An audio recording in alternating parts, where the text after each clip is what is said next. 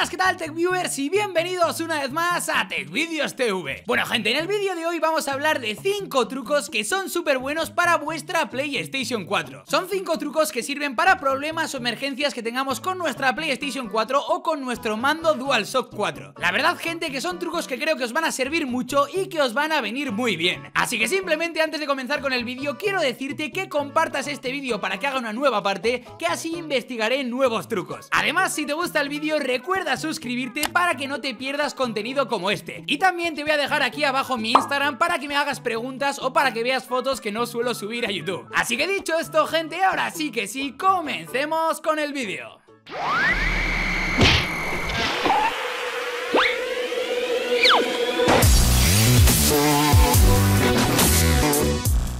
Bueno gente, comenzamos con el vídeo y es que en este caso los trucos que te voy a enseñar Lógicamente son trucos para problemas que podemos tener con la PlayStation 4 Quizás tú por suerte todavía no hayas tenido ninguno de estos problemas Pero te aseguro que los trucos te pueden venir muy bien Y por lo tanto está bien que los sepas y que los veas todos. Así que ahora sí que sí, comenzamos con el primero Que en este caso va a servir para todos aquellos que por ejemplo la PlayStation 4 no se enciende O directamente se ve por ejemplo la pantalla negra cuando encendéis vuestra PlayStation. Pues muy bien, en este caso os voy a dar varios consejos o trucos dentro de este primero. Lo primero que tendréis que hacer y que es un tip bastante básico pero que muchas veces no lo probamos es comprobar que los cables están bien conectados. Y cuando digo cables me refiero principalmente al HDMI que muchas veces puede fallar o estar mal conectado y que dé problemas en la imagen de la PlayStation. O por ejemplo si tenemos nuestra PlayStation conectada a una regleta pues comprobar que la regleta está funcionando bien. Porque gente aunque parezca una tontería muchos de vosotros seguramente habréis tenido algún problema de estos no os habréis dado cuenta y se solucione revisando esto. Bueno lógicamente dentro de este primer truco también tenemos otras opciones. Imagínate que tu PlayStation está muy caliente y no se enciende o tiene algún problema y que no ves la imagen. Pues lo que no tienes que hacer es apagarla. Es decir, lo que tendrás que hacer en este caso será esperar a que se enfríe porque muchas veces se sobrecalientan y en este caso hay que esperar a que se enfríe para luego posteriormente apagarla y volverla a encender. Como digo, este tip parecerá bastante básico, pero te aseguro que en muchas situaciones te puede salvar. Y bueno, dentro de este primer truco voy con los dos últimos tips que son bastante importantes y en este caso sería que si tu PlayStation por lo que sea no se ve o no funciona o no se enciende, lo que tendrías que hacer es comprobar tu mando de PlayStation 4. ¿Por qué digo esto? Porque aunque parezca una tontería, muchas veces encendemos la PlayStation desde nuestro DualShock y puede que en este caso no sea problema de la Play, sino del propio mando. Es decir, lo que tendríamos que hacer, por ejemplo, si nuestra PlayStation no se enciende y lo estamos intentando encender desde el mando, es comprobar que el mando no esté desincronizado. Para esto simplemente lo que haremos será o bien probar a encender la PlayStation desde su botón principal o si no conectar un cable USB desde el mando a la PlayStation para probar si realmente era problema del mando o de la PlayStation. Y bueno, lógicamente el tip más útil de este primer truco y que os aseguro que os va a venir genial consiste en un reinicio de emergencia. Y dirás, ¿qué es esto? Pues bien, gente, esta es la parte más interesante de este primer truco Y es que en este caso si tenemos problemas con nuestra PlayStation que no se enciende, que se ve la pantalla negra Lo que tendremos que hacer será mantener pulsado el botón de encendido durante aproximadamente 7 o 10 segundos Veréis que mientras lo mantenéis pulsado sonarán dos pitidos y en la pantalla de vuestra PlayStation aparecerá un menú como el que estáis viendo ahora Muy bien, esto es una configuración que tiene PlayStation para este tipo de problemas Y en este caso lo que tendremos que hacer para solucionar el problema será lo siguiente Primero probaremos a darle a la opción de reiniciar PlayStation que te va a hacer un reinicio de emergencia y muy seguramente de esta forma se solucione tu problema de que la PlayStation no encendía o no funcionaba bien. Pero bueno, si aún así no se soluciona y por ejemplo sigues viendo, imagínate, la pantalla de tu televisión negra, en este caso tendremos que volver a hacer el mismo proceso, es decir, mantener pulsado el botón de encendido durante 7 segundos y cuando aparezca esta pantalla lo que tendremos que hacer será pinchar en esta otra configuración que es cambiar resolución, porque muchas veces cuando nuestra pantalla se ve negra es porque el modo de imagen que configura directamente la PlayStation no es compatible con nuestra televisión. Por lo tanto tendréis que darle a esta opción y tendréis que seleccionar la resolución que vuestro televisor tenga. Como digo, muchas veces lo que pasa es que se desconfigura el modo de imagen y por lo tanto también podemos ver la pantalla negra.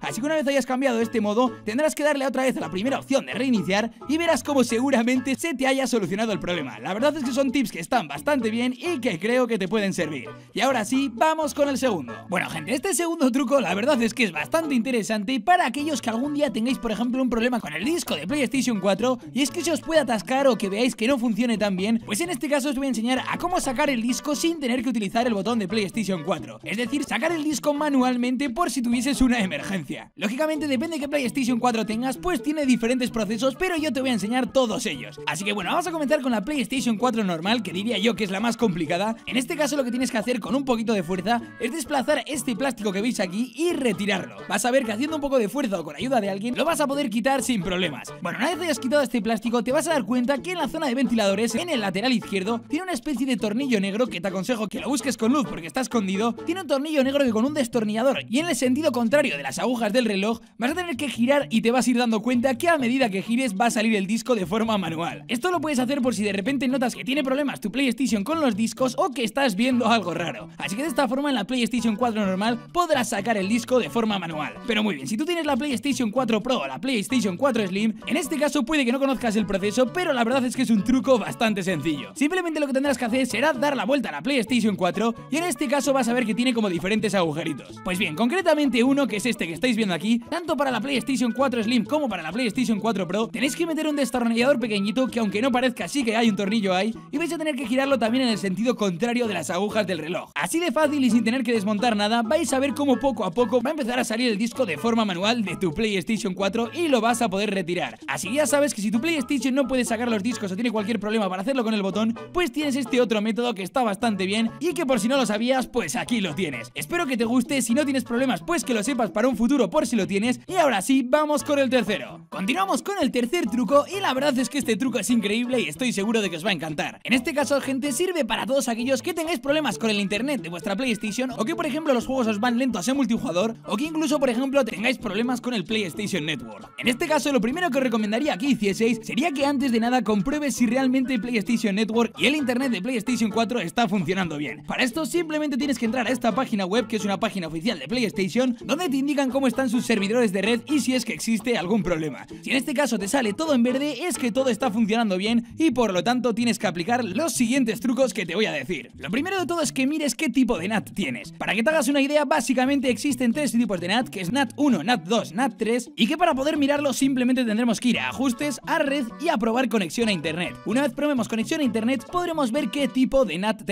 Lamentablemente, si tu tipo de NAT es 3, esto suele dar bastante problemas, suele hacer que los juegos vayan más lentos e incluso que el internet de tu PlayStation 4 vaya peor. Por lo tanto, lo recomendable es que cambies el tipo de NAT. Y bueno, lo último que te tengo que decir de este truco y que es increíble y funciona súper bien, es que cambies los DNS que tienes configurados en tu PlayStation 4. Seguramente tengas los DNS de la propia operadora que tengas contratada, pero en este caso te recomiendo que hagas estos cambios porque muchas veces poniendo DNS públicos que yo te voy a dejar aquí, pues va a poder ir muchísimo mejor tu internet. Entonces, simplemente tendremos que ir a ajustes, a red y configuración de internet y tendremos que seleccionar o bien wifi o por cable, depende cómo tengamos nuestra conexión. Bueno, luego todos estos pasos, gente, los tenéis que pasar y simplemente cuando vayamos a la configuración de DNS tenéis que darle a entrar en modo manual y en este caso tenéis que poner los siguientes. Como ves, te voy a ofrecer dos DNS, que en este caso están los del Google que funcionan bastante bien, o por el otro lado también tienes unos DNS abiertos que están bastante bien. Puedes utilizar cualquiera de ellos, como ves tienes el primario y el secundario, y en este caso estos números pues los tendrías que poner aquí. Lógicamente si eliges el de Google pues solo utilizarías estos números, y si eliges el otro pues solo tendrías que cambiar estos otros números. Así que simplemente cuando cambies esos datos tendrías que completar estos otros, que esos sí que están en tu PlayStation, y una vez hayas hecho eso le das a probar conexión. Vas a ver que de esta forma va a ir bastante mejor el internet, seguramente se mejore porque este cambio de DNS muchas veces va mejor que los de vuestra operadora. Así que simplemente espero que os guste este truco para mejorar problemas de internet y vamos con el siguiente. Bueno, continuamos con el cuarto truco y este cuarto truco es súper bueno para aquellos que tengáis problemas con vuestro mando DualShock 4.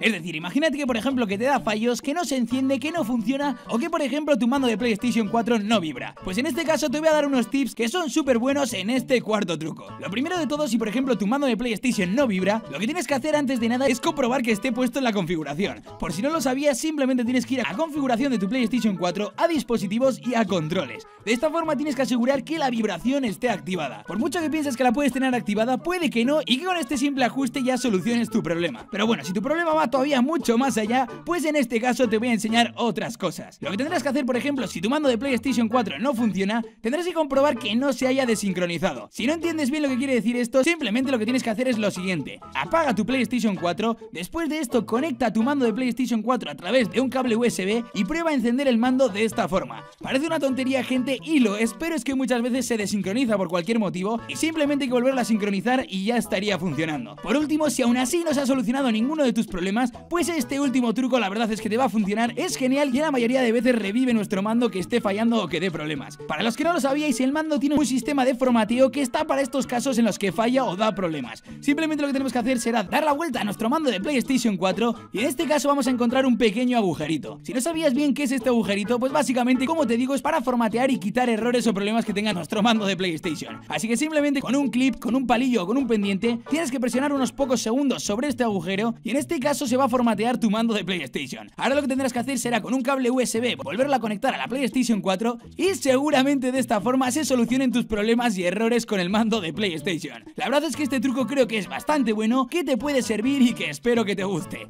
Y ahora sí que sí, vamos con el último de hoy. Bueno, TechViewers, si terminamos con este último truco, y la verdad es que es un truco súper bueno para que podáis limpiar súper bien vuestra PlayStation 4 sin prácticamente tener que hacer nada complicado. En este caso es un truco bastante bueno y es que nuestra PlayStation 4 podemos limpiarla con un juego de botones que os voy a enseñar. En este caso, para poder limpiarla al completo, lo que tendremos que hacer será extraer cualquier disco o juego que tengamos en la PlayStation 4. Simplemente sacáis el disco y una vez hecho esto tenéis que apagar vuestra PlayStation 4. Bueno, cuando ya esté apagada tenemos que desconectar el enchufe o el cable de corriente de la PlayStation 4 como estáis viendo aquí. Cuando lo hayas desconectado tendrás que mantener con el dedo pulsado el botón de extraer discos que es este que estáis viendo. Así que simplemente manténlo pulsado y no lo levantes todavía. Entonces con el dedo pulsado como estás viendo tendrás que conectar nuevamente el cable de alimentación y como digo no sueltes el dedo de ahí. Simplemente tendrás que esperar unos 6-7 segundos y verás que empezará a hacer un ruido tu PlayStation 4 porque activará los ventiladores de emergencia y empezará a limpiar todo el polvo y suciedad que tenga tu PlayStation. Realmente lo que puede tardar son unos 30 o 40 segundos y en este caso este proceso va a hacer que tu PlayStation 4 se limpie y no va a dañar ningún disco ni juego que tengas porque lógicamente como te he dicho antes lo tenías que haber sacado. Así que simplemente espera estos 40 segundos y si no se detiene pues simplemente mantén pulsado nuevamente el botón para que se apague. Una vez hecho esto habrás visto que tu PlayStation 4 estará mucho más limpia y la verdad es que es un truco que es bastante útil por si no lo conocías. Y bueno gente, realmente estos son los 5 trucos de hoy. La verdad es que estuve investigando y me gustaron estos trucos y por lo tanto yo quería enseñártelos. Si te ha gustado el vídeo recuerda compartir por favor este vídeo con tus amigos para que de esta forma yo pueda hacer un nuevo vídeo de nuevos trucos que pueda haber. Además también déjame un bonito like y si no estás suscrito al canal suscríbete para no perderte contenido como este. Y bueno